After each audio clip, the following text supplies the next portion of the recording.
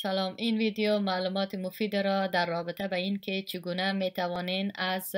اپلیکیشن سروایس ویکتوریا و یا هم از QR کد استفاده بکنین و اطلاعتان می رساند.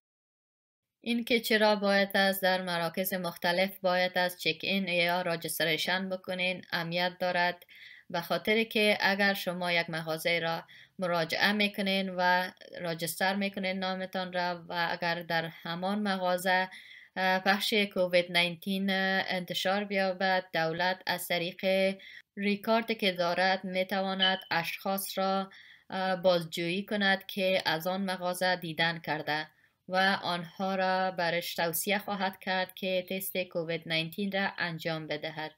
و با ترک کردن و یا هم ردیابی اشخاص می تواند که از بخش بیشتر کووید 19 جلوگیری بکند.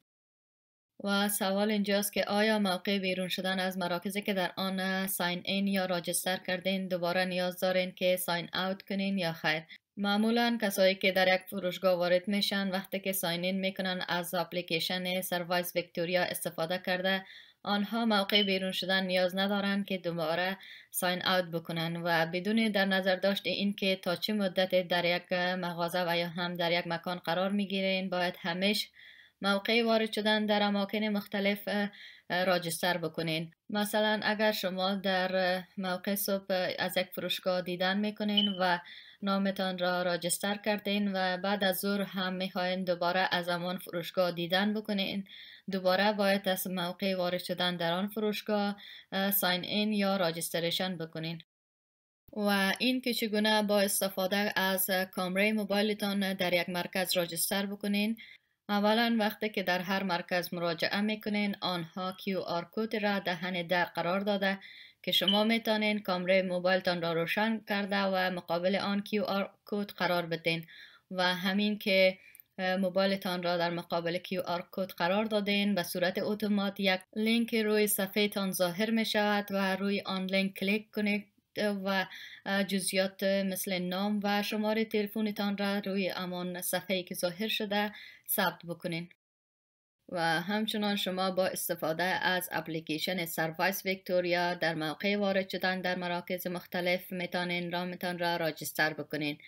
اولا به خاطر این کار باید از اپلیکیشن Service Victoria را در موبایل های اندرویدتان از طریق Google Play Store دانلود بکنین و یا هم در موبایل های آیفونتان از طریق App Store اپلیکیشن سروایز ویکتوریا را در موبایلتان اضافه بکنین و زمانی که در مراکز مختلف مراجعه می‌کنین دهن در شما شاید به QR کد که در آنجا قرار گرفته مواجه خواهید شد و موبایلتان را باز کرده و در اپلیکیشن سروایز ویکتوریا مراجعه بکنین. و کود را که دهن در قرار دارد اسکن بکنین و جزیاتتان را مثلا نام و شماره تلفنتان را روی صفحه که ظاهر می شود اضافه بکنین و روی دکمه check in this location فشار بدین و بدین ترتیب جزیات شما در آن مرکز ریکارد می شود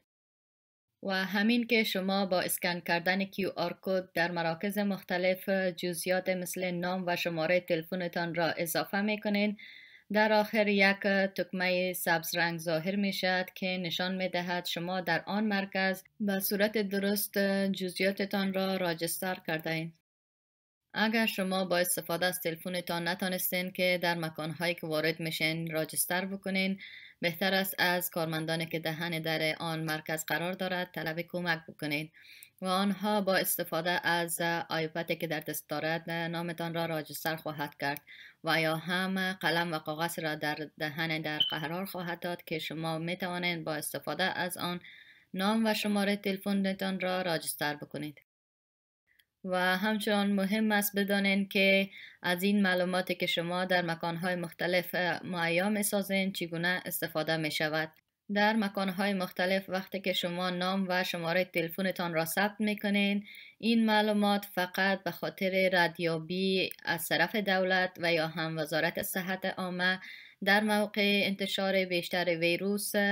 استفاده می شود. یعنی مرکزی را که شما مراجعه کردین اگر در آن مرکز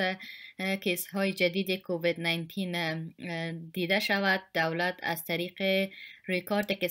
ثبت کرده می خواهد اشخاص را دوباره ردیابی کند. و این معلومات از طریق وزارت صحت و دیگر مسئولین صحت عامه فقط به خاطر بهبود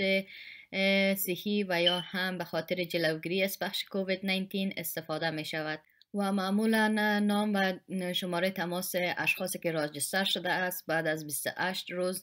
دوباره حذف می شود و اگر از یک مغازه که شما یا اشخاص دیگر مراجعه کردین و جزئیاتتان را ثبت کردین در آن مغازه اگر کیس های جدید کووید 19 کش شود وزارت صحت عامه جزئیات اشخاص را بیشتر از 28 روز به خاطر ردیابی نگه خواهد کرد.